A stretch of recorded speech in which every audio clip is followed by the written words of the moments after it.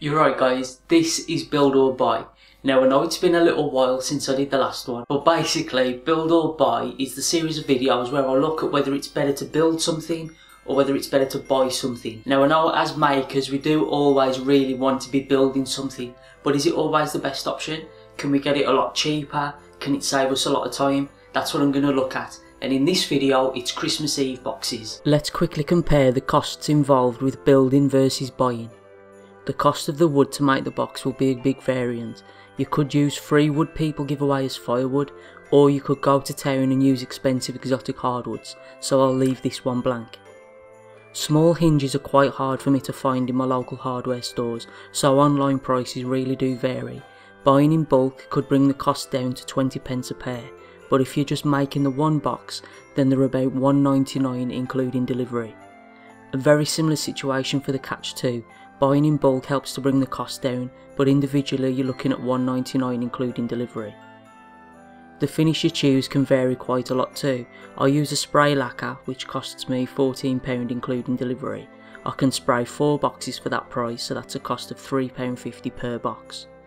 So a running total, not including wood, is £4.20 if you're making multiples. Of course you are looking at a good few hours of work to make the box too. Now looking at the buy option, the box I brought was £5.24 including prime delivery from Amazon. It measures 20cm by 14cm by 8cm. Of course it's unfinished so we have the same finishing costs but we don't have anywhere near the same amount of working time invested. Yes the box isn't the best quality, it's not going to last generations but I think they're more than good enough for a simple Christmas Eve box. The box is a little rough and ready so I'll spend a couple of minutes sanding the edges and make it smooth to the touch.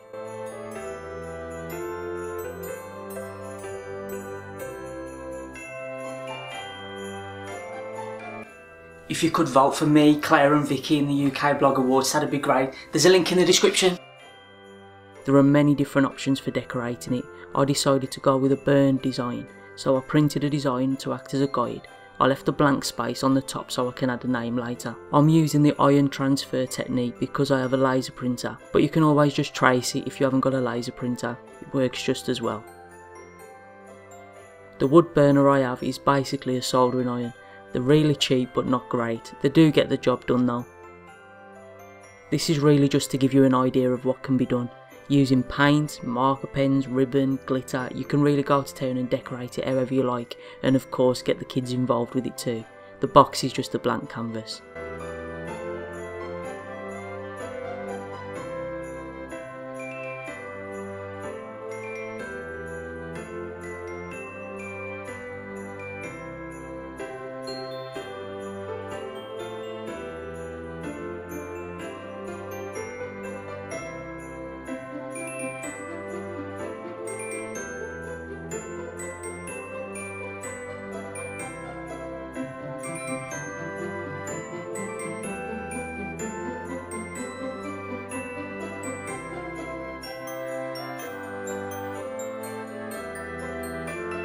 So that's the result then guys. I think you'll agree, nice and quick and simple to do.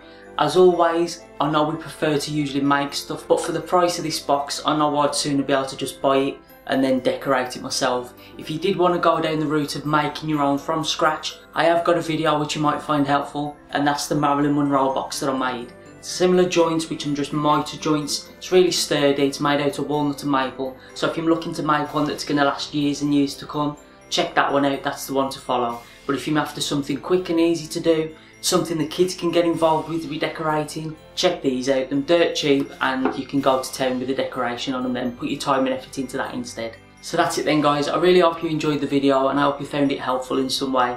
I'll see you on the next one.